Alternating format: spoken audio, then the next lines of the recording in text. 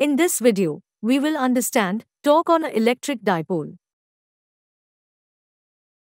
We can understand the behavior of an electric dipole with the help of principles in electrostatics. Torque measures the rotation of an object.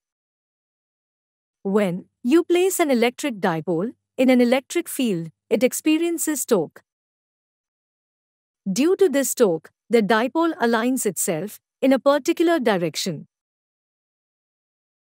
The torque acting on an electric dipole can be represented as follows. Tau is equal to P sine theta.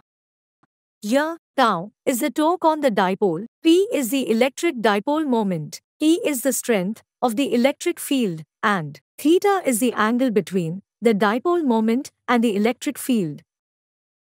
Torque is a vector quantity, meaning it has both magnitude and direction.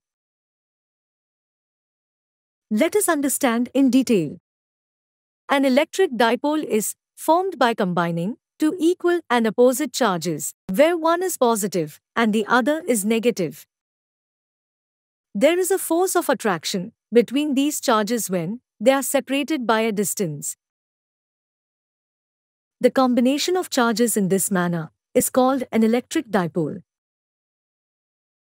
When you place this dipole in a uniform electric field, forces act on the positive and negative charges in opposite directions due to the electric field.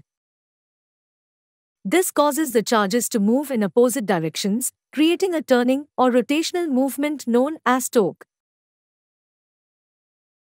The value of torque depends on the strength of the electric field and the characteristics of the dipole, such as the charge separation distance.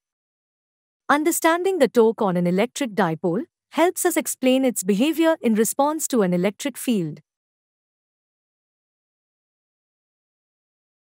Thanks for watching. If you like this video, please like and subscribe our channel.